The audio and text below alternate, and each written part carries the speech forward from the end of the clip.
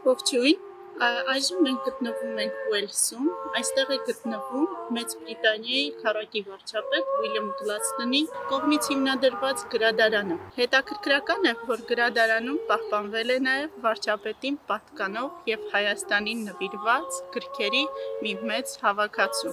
որը այսօրերի ընթացքում հնարավորություն ունեցանք ուսումնասիրել։ Ինչու ենք այստեղ մենք։ Բանն այնն է, որ այս պահին գրադարանի կոնֆերանս դահլիճում ընթանում է դպրոցի աշակերտների եւ Վեսթմինսթերի դպրոցի աշակերտների համատեղ կոնֆերանսը։ Այն 1 տարվա աշխատանքի արդյունք է։ Աշակերտները ներկայացնում են իրենց ելույթները պոպուլիզմի, ժողովրդավարության, ազգայնականության եւ արդի աշխարհին հուզող այլ խնդիրների շուրջ։ Ինչու է կոնֆերանսի համար ընտրվել հենց Գլաստոնի գրադարանը։ Ասեմ, որ Գլաստոնը հայտնի է որպես հայերի բարեկամ եւ գրադարանում եւ հարակից տարածքներում, մասնավորապես Գլաստոնի առանձնատանը, կան բազմաթիվ հայկական հետքեր։ Այս եկեղեցին հիմնադրվել է 6-րդ դարում Դենիել անունով մի վանականի կողմից։ Դենիելը եկել է Հավարդեն 547 թվականին Վելսի դիի հովտի երկայնքով մի շարք եկեղեցիներ կառուցելուց հետո։ Այստեղ նա տնկել էր քարոշչական խաչը եւ սկսել աղոթել ծառի ստվերում։ Արևածագին խաչի գցած ստվերի պատկերով նա կառուցել է մի փոքր եկեղեցի։ Եկեղեցին ենթարկվել է մի շարք հավերացությունների 13-րդ դարում տեղի ունեցած պատերազմների պատճառով։ Հիմա մենք տեսնում ենք եկեղեցու վերանորոգված եւ վերակարգված տարբերակը։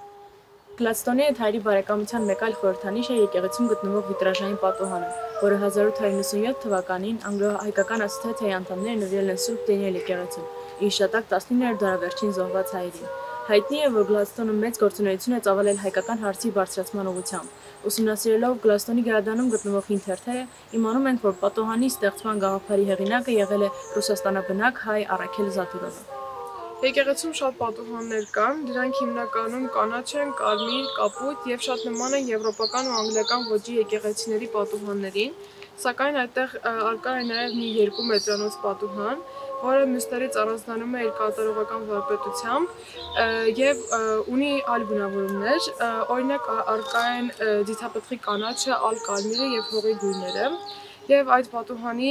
ձախ կողմում գտնվում է Սուրբ Բարդուղի Մյոսը, իսկ աջ կողմում գտնվում է Գրիգոր Լուսավորիչը։ Երկու կերպարների վերևում կա անգլերեն գրություն. The Noble Army of Martyrs Praise Thee։ Իսկ պատուհանների քարե գույքի վրա կա հայերեն գրություն Իփարս Աստծո եւ ի հիշատակ Թուրքիայում գտնվող հայերի, ովքեր տարապել են հանուն հավատքի եւ ի նշանավորն հավերժ երախտիքի Արվիլյամ Լյուարդ Գլասնի ներշնչող օրինակի։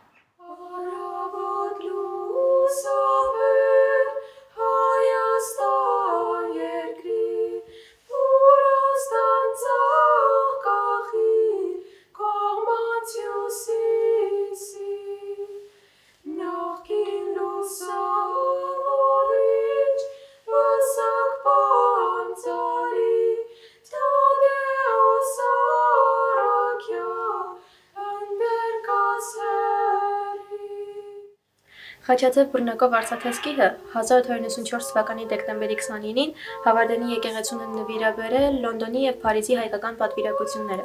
Հիշենք, որ սա այն տարիներն էին, երբ Օսմանյան կայսրությունում հայերը կոտոյացների էին ենթարկվում եւ համայն հայերի ջանքերը ուղղված էին Եվրոպայի ուշադրությունը դեպի Հայաստան ուղարկելու համար։ Զարմանալի է, սակայն այդ օրվանից մինչև հիմա եկեղեցու հաղորդության արարողության ժամանակ օգտագործվում է հենց այս սկիհը որի վրա հայրենով փորագրված է. Ես կբարձրացնեմ փրկության բաժակը եւ կկոչեմ այն Աստծո անունով։ Այդ ժամանակվա թերթերից իմանում ենք, որ հայկական պատվիրակությունը ցանկանում է սկիհը նվիրաբերել եկեղեցուն որպես պարոն Գլասնի հանդեպ եղած իրենց երախտապարտության մարդու, ով իր Քրիշտն ու ձայներ հանձնել հայ ժողովրդի համար արդարության եւ խաղաղության հաստատմանը։ Պարոն Գլաստանը այս նվերը ստացել է իր 85-ամյակին եւ իր շնորհակալությունը երախտագիտությունը հայտնել այս ժողովրդին։ Ժամանակն է մեկ այլ բաց հայտնել։ Ինչ եք կարծում, ով է պատկերված այս նկարով։ Նշեմ, որ այժմ մենք գտնվում ենք Գլաստոնի գրադարանի ճաշասենյակում,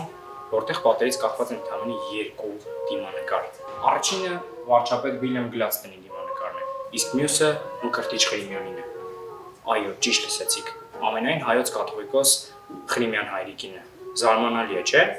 Ինչու եւ ինչպես է այս դիմանկարը հայտնվել հերավորվելցում։ Ասում են, Հնդկաստանում հայերի պատվիրակությունը այն նվիրել է Գլադստոնի կնոջը, Քեթրին Գլադստոնին, նրա ծննդյան 85-ամյակի կապակցությամբ։ Նկարի հեղինակը Թեոդոր Ախենտոլվիեցն է, Կրակովի արվեստի կայսերական ակադեմիայի պրոֆեսոր։